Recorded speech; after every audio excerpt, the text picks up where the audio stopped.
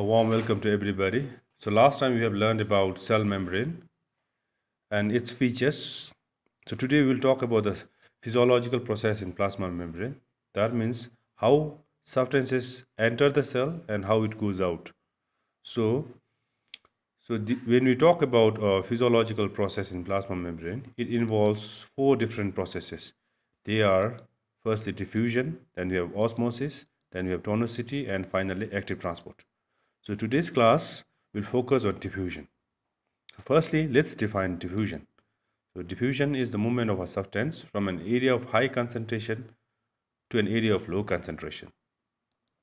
So if you look at this diagram, so if you look at the left hand side, we see a lot of substances. So imagine these red circles as substances. So since we have more red circles here, consider it as it has high concentrated area and this side right hand side has less dots red dots. Consider consider this as um, low concentrated area. So as per the definition of diffusion the substances will move from the higher concentration area to the lower concentrated area. So in order to understand diffusion in a better way so i have uh, prepared this. So imagine this is the low concentrated area and here since we have many dots here more concentrated area. As per the um, uh, definition of diffusion the substances will move from higher concentrated area to the lower concentrated area. So let's see how it moves. So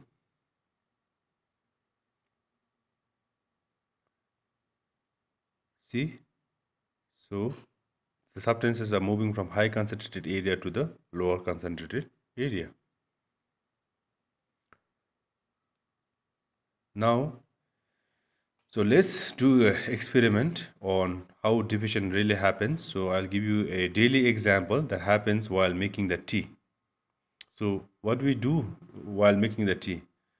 We heat the water and put the tea leaves. So we have often observe that the color of the tea leaves gets spread throughout the water. So that is a practical example of diffusion. So let's see how it happens. So when you put the tea, tea bag on in the water, so what happens? Diffusion is happening. See, the substance is moving from the high concentrated area to the low concentrated area. So this is diffusion. So now for diffusion to happen, there are two conditions. So diffusion abides these two conditions. So they are firstly, larger the size of the particles, the slower the rate of diffusion. That means if the particle of the substance is larger, that means the rate of diffusion, the diffusion rate will be slow. And the second condition is the greater the difference in concentration, the greater is the rate of diffusion.